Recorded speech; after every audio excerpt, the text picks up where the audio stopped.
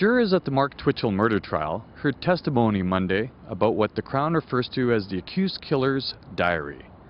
A police computer expert told the jury he rescued a deleted file from a laptop found in Twitchell's seized car, entitled SK Confessions, with the SK referring to serial killer. After explaining how he retrieved the document and put it all together, Constable Michael Roscoe began reading it into the record. It begins.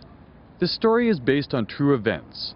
The names and events were altered slightly to protect the guilty. Some of the portions read in so far include references to exploring the author's dark side and is preparing a rented garage to be a kill room, which he describes as my little workshop of horrors. In between the chilling and gruesome scenes, the author also talks about his home life with his wife and daughters and his sex life with his mistress.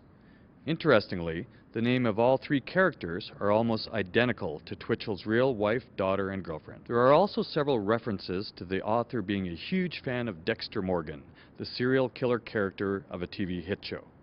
In an opening statement, Crown Prosecutor Lawrence Van Dyke told the jury that they will easily be able to conclude that SK Confessions is actually a diary written by Twitchell, in which he details his first unsuccessful attack on a city man and his subsequent slaying of Johnny Altinger. The trial continues. For the Edmonton Sun, I'm Tony Blais.